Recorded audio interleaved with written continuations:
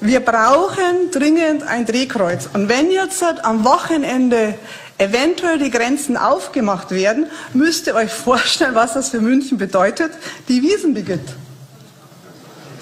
Das ist sicherheitstechnisch nicht mehr am Hauptbahnhof zu stemmen. Sieben Millionen, sieben Millionen, nein, ich rede von Sicherheitsproblemen. Ich rede von Sicherheitsproblemen. Wir stemmen es nicht mehr am Münchner Hauptbahnhof. Wir können, wir müssen die Züge vorbei. Wir müssen. Wir hatten innerhalb der letzten 14 Tage 55.000 Ankünfte am Münchner Hauptbahnhof. 55.000. Und wir konnten die Züge nicht mehr weiterschicken. Und ihr habt den Königsteiner Schlüssel verwehrt. Bis auf Niedersachsen und Nordrhein-Westfalen. Danke.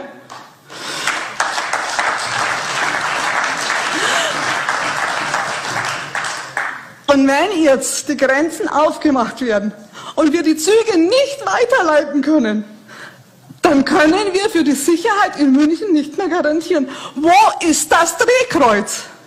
Wo ist das Drehkreuz? Seit 14 Tagen sagen wir, wir brauchen das nächste Drehkreuz. Es ist immer noch nicht da. Und ich weiß nicht, wie ihr euch das vorstellt. Es geht nicht um die Wiesen. Es geht elementar um Sicherheit. Und die Stimmung wird in München dann auch kippen. Die Hilfsbereitschaft ist gigantisch. Aber wenn es uns nicht gelingt, dieses, und wir reden schon gar nicht mehr vom Krisenfall.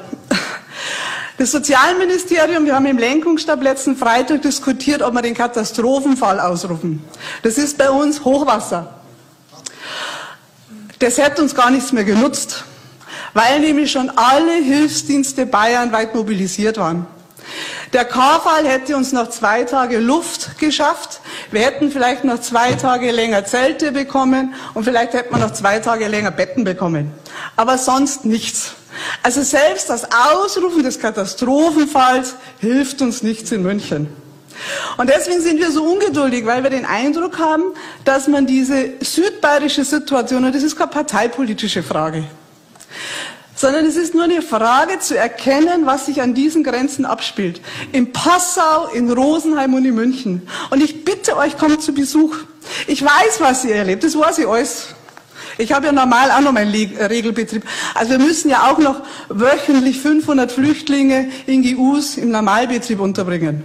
Das stimmt, das weiß ich alles.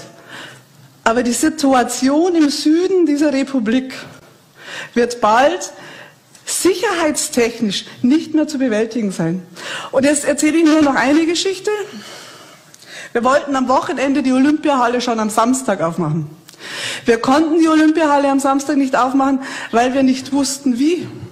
Nee, Betten, Betten. Wir haben einen Twitter-Aufruf gemacht, dass wir Luftmatratzen, Isomatten bekommen, um den Menschen, tausend Menschen überhaupt irgendwo hinzulegen. Also haben wir mit der Hilfe der Ehrenamtlichen aus München 1000 Isomatten und Decken in die Olympiahalle transportiert. Die Hilfsdienste an der Kante. Also wie, wie gesagt, Katastrophenmodus. So. Und dann konnte ich aber die Olympiahalle nicht aufmachen, weil ich nicht wusste mit wem. THW, BRK, alle haben abgesagt und gesagt, ich kann, wir können nicht mehr. Wir sind mit unseren Kapazitäten am Ende. Ich hätte die Olympiahalle geöffnet mit der Gebirgsschützenmannschaft der Bundeswehr, 50 Soldatinnen und Soldaten, angeführt von Sozialpädagogen von mir, weil es wäre ein Dienst im Inneren der Bundeswehr gewesen. Also das Sozialreferat hätte dem Soldaten gesagt, wie man eine Einrichtung führt. Das ist der Modus in Bayern. Überall in Passau, Rosenheim, München.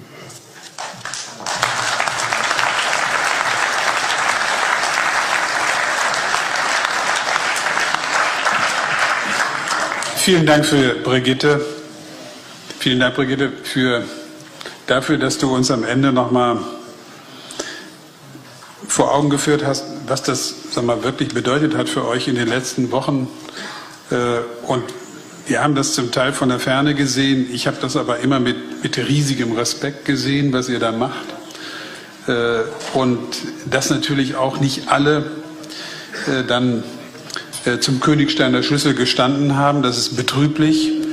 Äh, wahrscheinlich haben diese Länder auch aus Not heraus ähm, so agiert. Aber du sagst ja, Nordrhein-Westfalen und Niedersachsen haben gestanden. Äh, aber alle, alles, was du beschrieben hast, das, ähm, das zeigt doch, dass die Entscheidung, etwas Ordnung und Ruhe in das Verfahren zu bringen, erstmal richtig war. Und natürlich gibt es die Probleme mit Österreich, da hast du ja darauf hingewiesen. Und es wird auch jetzt Probleme geben in Serbien, wenn die Ungarn keine mehr durchlassen. Und danach wird es die Probleme in Slowenien und in Kroatien geben. Das wird so sein. Äh, wir können sie aber nicht dadurch lösen, dass wir auf all diese Maßnahmen jetzt komplett verzichten und sagen, okay, wenn alles andere nicht funktioniert, dann müssen wir es alleine machen. Das schaffen wir auf Dauer nicht. Übrigens, auch das hat mir dein Beitrag eben nochmal gezeigt. Man muss das auch können. Es reicht nicht, das allein zu wollen. So, ich werde diesen Punkt mit dem zweiten Drehkreuz, der ist ja für Niedersachsen geplant, auch heute Abend in den Sondersitzungen nochmal zur Sprache bringen. Ich bin übrigens morgen in Passau, um mich äh, vor Ort zu informieren, auch bei, den, äh, bei, den, äh, bei der Bundespolizei, auch an Grenzübergangsstellen. Äh, ich glaube, äh, wir müssen jetzt die Dinge, die getan werden müssen, sehr schnell tun und sehr eindeutig tun und müssen innen und außen parallel arbeiten. Was wir hier im Land tun müssen, ist das eine und was wir zur Verringerung der Flüchtlingszahlen außen tun müssen, ist das andere. Aber auch da wird höchster Einsatz gefordert sein. Da muss auch die Kanzlerin selber ran. Und im Augenblick, auch wenn Wahlkampf in der Türkei ist und auch wenn das widrigste Verhältnisse da sind, unter denen äh, Herr Erdogan diesen Wahlkampf führt. Wir kommen um eine Kooperation mit diesen Ländern nicht drumherum. Auch darauf werden wir heute dringen. Und ich glaube, das muss auch schnell gehen, damit wir wieder sagen wir, etwas Kontrolle über den ganzen Vorgang gewinnen. Und das, glaube ich, ist auch das Entscheidende äh, für die Stimmung im Land. Ich darf mich nochmal bei allen bedanken, die heute gekommen sind. Uns hat das sehr geholfen. Das waren viele offene und klare Worte, die wir gehört haben. Und ihr lauft damit natürlich bei der SPD-Bundestagsfraktion offene Türen ein. Für uns ist es wichtig, dass wir das auch noch mal direkt von euch hören. Ähm, wir werden das gemeinsam schaffen, da bin ich ganz sicher, die notwendigen politischen Entscheidungen jetzt schnell herbeizuführen. Äh, und dann sollten wir uns in nicht allzu ferner Zeit hier wieder treffen. Äh, das hat ja heute schon jemand gesagt, das war nicht unser letztes Treffen. Wir werden diese Diskussion mit euch fortsetzen und versuchen, gemeinsam Lösungen zu erarbeiten. Vielen Dank von meiner Seite.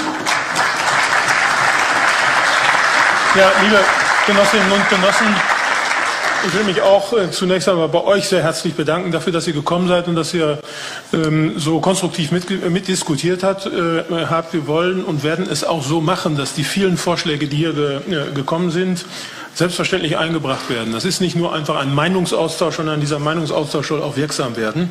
Deswegen will ich an dieser Stelle vielleicht auch noch mal sagen, dass ihr bei aller Auseinandersetzung, die es im Detail geben mag, hoffentlich auch wisst, äh, dass die Bundestagsfraktion Thomas Oppermann, Sigmar, äh, die Fraktion aber insgesamt schon die kommunalpolitischen Belange, Auswirkungen nicht nur versucht kennenzulernen, sondern auch versucht äh, abzumildern bzw. die Rahmenbedingungen zu verbessern. Das heißt mit anderen Worten, ich glaube, die Kommunen haben mit der SPD in der Großen Koalition wirklich eine wirksame Stimme bekommen und das müssen wir weiter betreiben. Ähm, wir werden die Debatte selbstverständlich weiterführen. Das, was eben gerade aus München München vorgetragen worden ist. Thomas hat es gesagt, unmittelbar vielleicht schon heute. Äh, einige andere Vorschläge auch. Äh, wir haben hier euch eine Berliner Erklärung vorgelegt. Jetzt hat der Sigmar schon ganz zu Anfang gesagt, wie ich finde, zu Recht, dass wir heute jetzt nicht hier auf einem Parteitag sind, wo wir sozusagen Resolutionsdebatten führen. Und ähm, das ist etwas, was wir, glaube ich, hier als politische Erklärung mit einigen Zusätzen, die gekommen sind, Stichwort Sören Ehrenamt beispielsweise oder Einwanderungsgesetz, so auf den Weg bringen können. Deswegen habe ich die Bitte, dass wir jetzt nicht noch eine Debatte über die über die äh, über diese Berliner Erklärung, aber trotzdem, aber trotzdem soll es noch eine Bemerkung dazu geben. Nein, wenn aber in der in der Erklärung etwas Falsches steht, da sollte man das im Grunde aus, aussprechen. In Punkt 4, ich lese es mal: Sprache und Arbeitsmarkt im ersten hm? Satz. Eine frühere Öffnung von Sprachkursen für Asylbewerber ermöglicht und so weiter. Eine frühere ist ja die Steigerung von früher. Es gibt für Asylbewerber überhaupt keine Sprachkurse. Infolgedessen müsste es heißen, die Öffnung.